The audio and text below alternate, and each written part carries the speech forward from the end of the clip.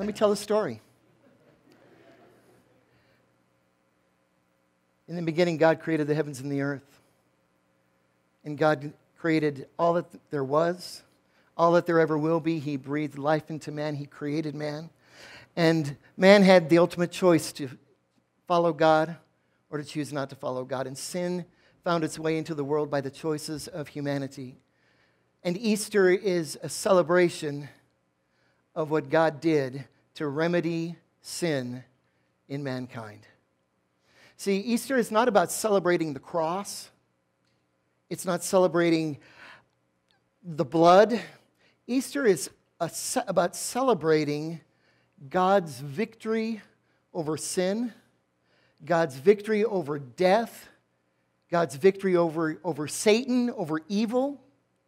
And so Easter is a celebration. We need to go, praise God. Say it again, praise God. See, we need to be praising God because Easter is a celebration. I want to give you five reasons to celebrate.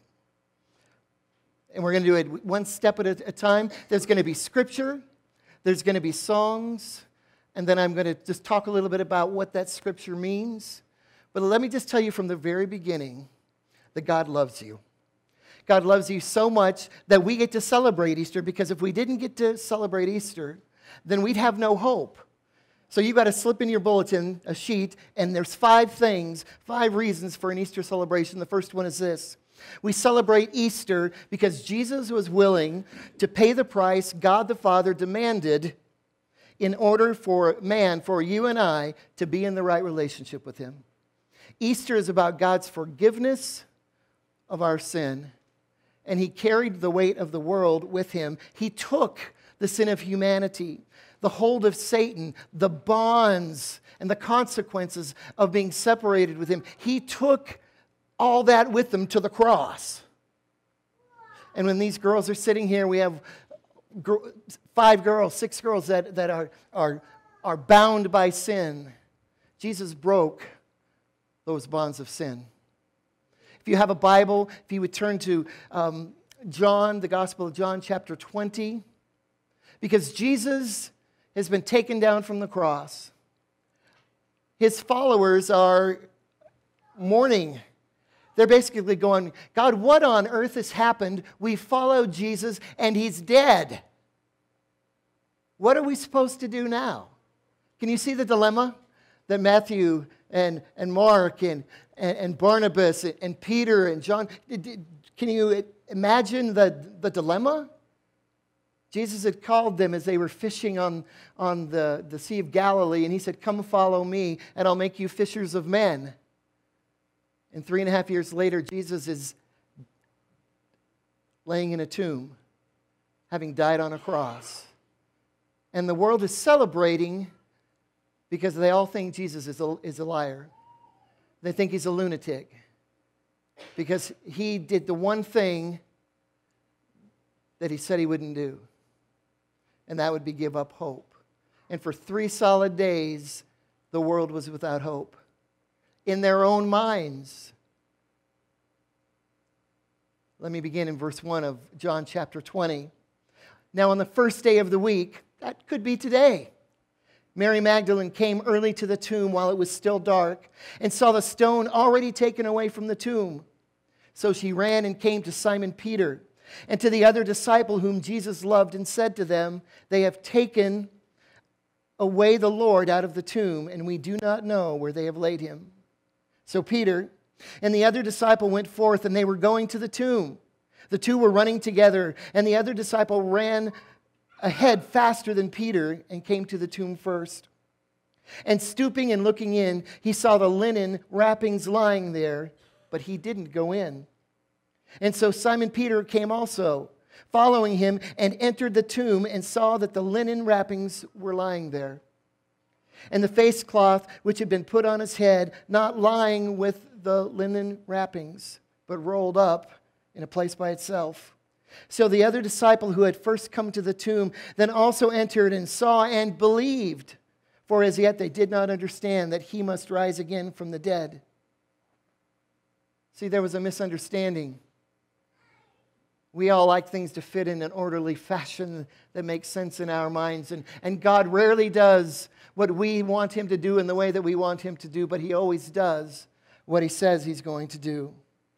We celebrate Easter not only because He was willing to pay the price, but, but He not only paid the price with His life, but He didn't stay dead. Jesus didn't stay dead. Praise God. Because if Jesus would have stayed dead, we might as well go home and have breakfast. Seriously. If Jesus had not defeated death, had not defeated Satan, had not defeated evil, had not fulfilled the, the plan of, of the Father, the plan of, of God, the Father, the Son, and the Holy Spirit, then we'd be wasting our time. This would just be religion. But this is not a religion. This is about a relationship with Jesus Christ. When Jesus walked out of that tomb, he walked out with the sin of mankind having been taken care of. He paid the price for you. He paid the price for me. He paid the price for our doubts, for our fears, for our shortcomings, for our faux pas, for our sin, for our foolishness, for all that we are. Jesus said, I paid it all for you. And He made a way for us to have a relationship with Him. But there's something we have to understand and we have to grasp that Jesus is God. He is God the Son, and He, he came down in the flesh for you and for me. And that's what those days prior Good Friday, Maundy Tuesday, sleep in Saturday, and then you come to the celebration Sunday to where he's no longer dead, he's no longer in the tomb. The last scripture I read said they didn't yet understand that he must rise again. We must understand and we must believe that Jesus rose from the grave a tomb and a stone that was rolled away, and Jesus is the victor. Will you pray with me? Gracious Heavenly Father, I pray that we would see in you, see in Christ, possibility, potential, a way of doing our existence and a way of doing our life that isn't dependent on our abilities and what we're capable of doing, but on your mercy and on your grace, knowing that you have made us in your likeness. You've given us a heart to receive you, and that we have the opportunity, God, to live a life that has purpose and meaning. So, God, I pray that we would recognize you as who you are the God of all things. In Jesus' name I pray. Amen.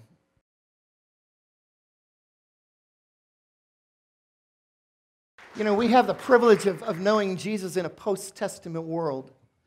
We can read about Timothy and Paul and Silas and, and John and James and, and all of those that followed Jesus during Scripture time.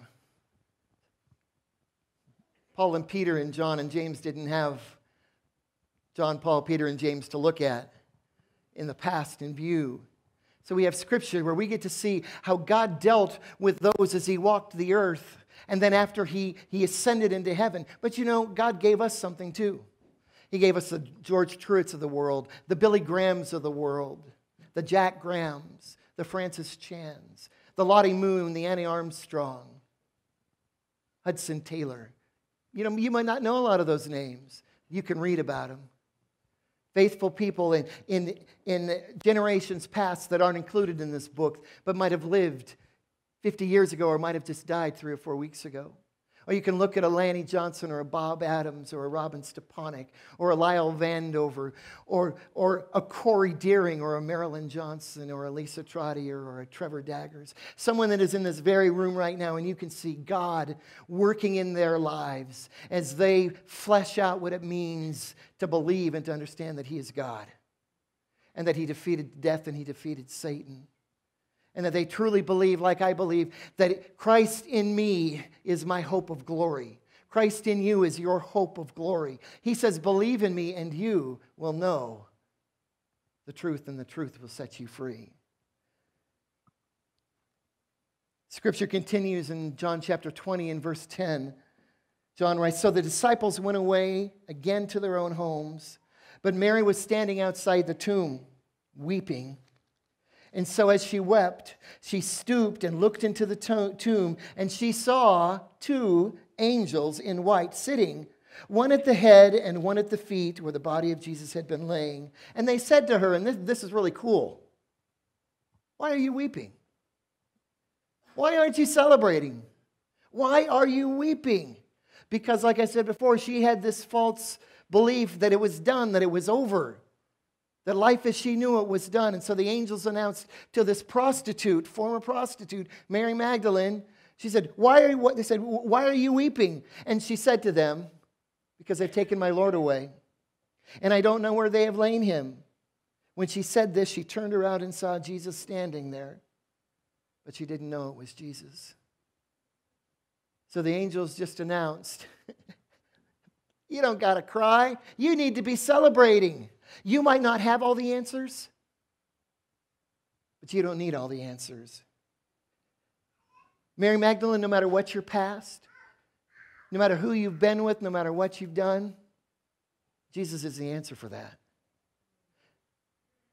It's empty because he's not there. Nobody laid his body anywhere. He's alive. But she hadn't quite yet recognized that. But she was going to very quickly understand that he really was the Lord of all, that he was the maker of all things, and in him was life.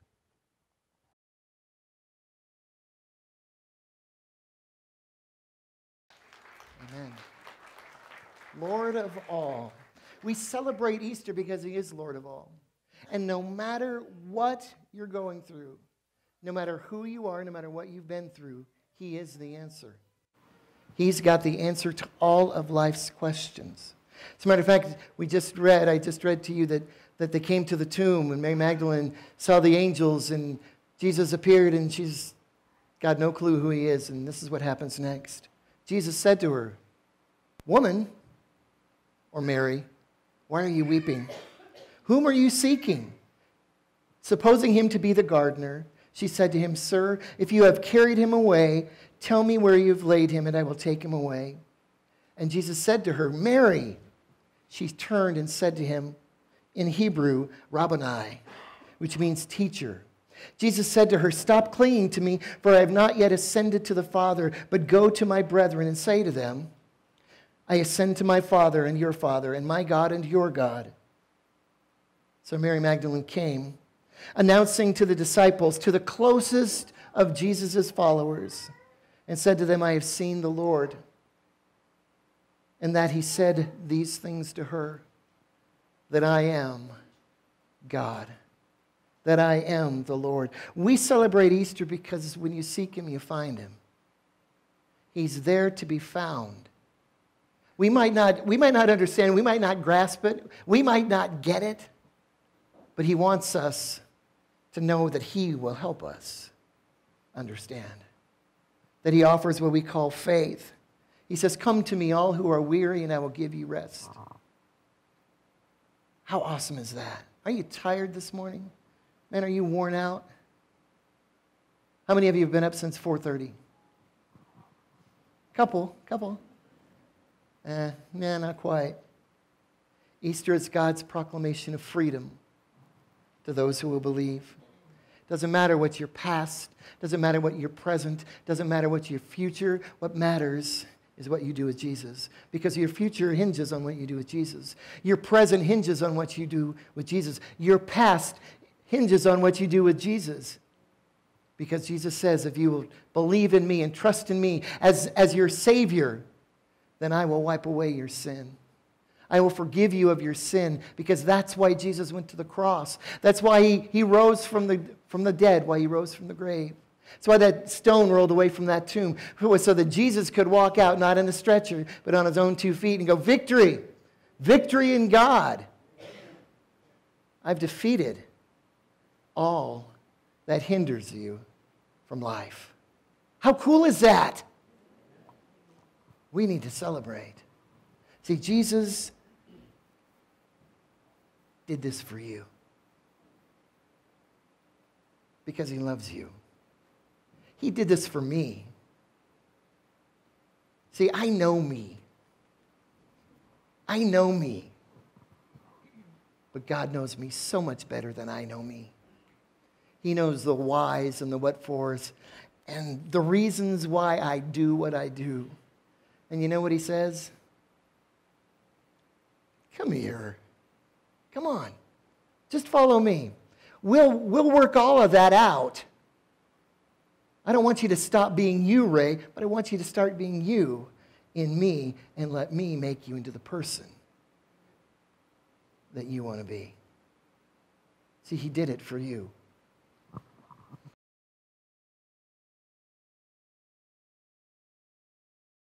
We celebrate Easter because when we seek Him, we find Him. When we seek God, we find God. What an incredible proposition, God says. If you, if, if you look for me, I'm behind the door. I'm behind door number one, I'm behind door number two, I'm behind door number three. You'll never lose. So he sent Mary to tell the disciples, He's alive. He's alive. And next we find them in a precarious place. Let me read this to you. Verse 19 On the evening of that first day of the week, that's the same day, when the, the, the, disciples were together and the doors were locked for fear of the Jewish leaders, Jesus came and stood among them and said, Peace be with you. And after this, and after he said this, he showed them his hands and his side. And the disciples were overjoyed when they saw the Lord. And Jesus said again, Peace be with you. As the Father has sent me, I am sending you. And with that, he breathed on them and said, Receive the Holy Spirit. See, when you seek him, you find him, and you find all that God has for you. He doesn't give you bits and pieces of himself. He says, Man, if you surrender yourself to me, that's what the Easter is all about. It's about me, me, Jesus says, making it possible for you with one act of contrition, one acknowledgement, one reception of Jesus as your Lord, and your life changes forever. See, He doesn't just forgive your sin past, present, and future. But he says, I'm going to be with you to the end of the world. I'm going to leave you the comfort. I'm going to leave you the Holy Spirit. And if you're a believer this morning and you've trusted Jesus Christ as your Lord and Savior, you have God in you, and he truly is your hope of glory. He offers new life. He offers potential, He offers purpose. He gives you every reason to want to wake up in the morning, even when you don't feel like you want to wake up in the morning. Whether you got up at 4:30 or whether you're going to sleep till noon tomorrow. Who's going to sleep till noon tomorrow? One person, Catherine, because she works graveyards. God, God's going to bless her whether she gets up at noon or she sleeps all day and takes a Catherine day. Man, aren't, aren't there days when you just want to just lay in bed and go and spend all day in bed just, just recovering, recouping? See, God says, all things are possible with me. Doesn't matter if you're discouraged, if you're depressed, if you're excited, if you're jubilant, all things are possible. He says, I will give you life and give it to you in abundance. And so we're going to close this chapter, this passage, with the reality that Jesus, when he breathed on them, signified their step into new life, living by the power of the Holy Spirit of God. As believers, that's what we've received as well. And if you're not a believer this morning and you receive Christ as the Lord, then just know that you get all of God, all the potential, all the hope, all the purpose. He says, I will never leave you, I'll never forsake you. Man, I'll always be there for you. I'll be your assurance. And when you get up, whether it's noon, whether it's 4:30, every day can be a new day because you have a new life in Jesus.